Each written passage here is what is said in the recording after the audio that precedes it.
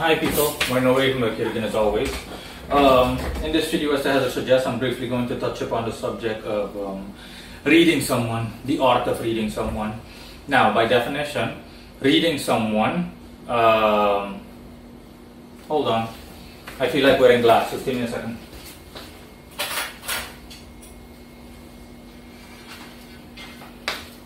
Yeah, now I feel better for some reason. In any, in any case, reading someone. Reading someone by definition simply means um, as an as a clairvoyant psychic or occult uh, practice simply stands for picking up someone's thoughts and their intentions and uh, in theory their actions so essentially you want to know what someone is doing or what they're thinking you simply go like this and you're like hmm that's pretty much it. And yes, it's an art. It's just a, a, basic occult exercise that anybody can do as long as they have psychic or clairvoyant capabilities. Uh, the effectiveness, as always, or better said, as any other, similar to any other exercise, depends on how skilled you are, your natural ability, your psychic or clairvoyant level, your level of intuition, your level of insight, etc. All the usual faculties that you need to be successful in any occult exercise or undertaking. And for those of you that want to know how to do it, it's quite simple. You simply will yourself to do it. So if you want to read someone, you literally just will yourself. For example, you have a friend called Mark. Your intent is all that's needed, as in, hey, listen, I want to read Mark, I want to know what Mark is doing. You just say that to yourself, either out loud if you're alone, preferably, or better said in your head that's a much better option. So just literally go like, hey, I want to know what Mark is doing. What's he doing? And then you just focus on what comes to you. Um, generally speaking, obviously, your mind needs to be quiet. You need to be able to differentiate uh, your own thoughts uh, from that of what you're picking up on, which is not hard to do, honestly, because you know your own thoughts. Usually, mundane stuff will come into your mind, like um, like what you had for dinner, stuff like that. Obviously, that doesn't count. Uh, but generally speaking, listen, if you do something like this, then your mind is focused. So it's not something you have to worry about. Your astral body slash mind is focused. So you don't have to worry about mundane thoughts entering your head. And then you simply see what you can come up with. What comes to you is essentially what, um, what the exercise is given to you. But now, to go into detail in relation to this, let it be clear, that's why I said earlier in theory, that when you sorry when you do this right you're not picking up on the person's actions. You're picking up on the person's brainwave activity hypothetically speaking.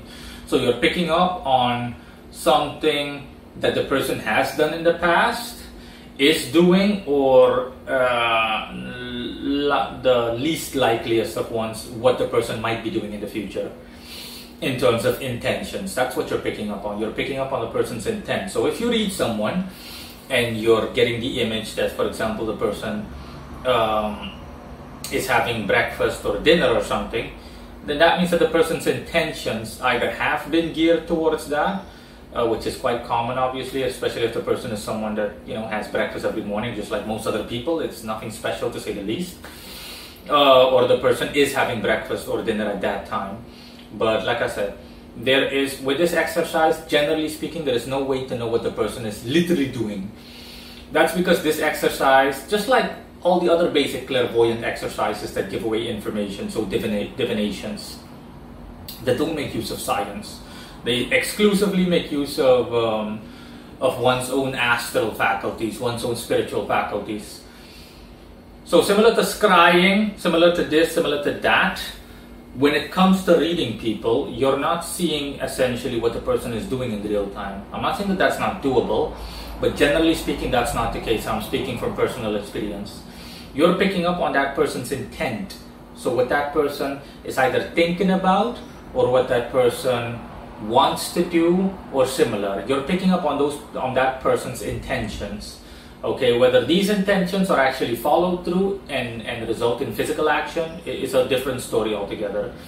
But bottom line is you're picking up on that person's actions. Like I said, generally speaking, you're picking up on brainwave activity, as in what are the person's thoughts, what's the person doing, as in what the, you know, if someone goes like, hmm, you know, I wish I, I could go to the park to get uh, something to eat at like a, a, mini waffle house that's there or something like that or a food carton or something like that blah blah blah. Then uh, uh, i mean a food cart you name it. Then that's what you're going to be picking up in general. You'll either like see you'll get a glimpse of a flash of a hot dog in your head or the person eating a hot dog. That's what you're picking up on intentions okay? So and intentions are subject based so by subject based i mean that you need to keep the general consensus in mind, as in food. These are keywords: food, sex, um, romance, love, um, anything you can think of, uh, friendship, um, leisure, entertainment. yeah, just ignore that. Um, and that's essentially it. I mean, nothing else really comes to mind in relation to this exercise. Like I said, how accurate you are depends on your level of clairvoyance, like I said earlier. It depends on how skilled you are, how much experience you have in doing this, just like any other thing. Generally speaking, the more you read people or try to read people, the better you'll get. If you're if you have little to no experience and your level of clairvoyance is already not the best, then you'll pick up on stuff that honestly won't seem to make a lot of sense, theoretically speaking. Um, because you what you'll be doing you'll be picking up for example you'll be picking up something from the past. Something that happened five years ago. You'll be picking up on on the most superficialist of intentions the person has that uh, is unlikely to, to to to be something that the person thinks twice about even. For example buying a knife buying a buying a, a, sword um, and that make no make no mistake this includes malevolent intentions okay? Or the intentions that seem malevolent. But the fact of the matter and the truth of the matter is that a lot of people think about a lot of stupid stuff throughout the day. Like even killing someone stuff like that. Deep really dark stuff in general. But stuff that has no basis. You know it's just a thought that crosses your mind literally in less than a blink of an eye to put it that way. So not something that you worry about or think about or anything like that uh, so yeah, that's what reading a person is in general, and that's how it goes. And like I said, the more skilled you become, especially if you have developed strong bonds with other people, bonds of a spiritual nature, then you'll generally speaking, if you have enough knowledge and experience through practice and whatnot, and again knowledge, then you'll find that things will come to you, as in you'll be able to pick up on people's thoughts but you need to be high level for this, okay? Make no mistake, it won't just happen overnight. You need to be really experienced and you need your level of clairvoyance needs to be really, really high.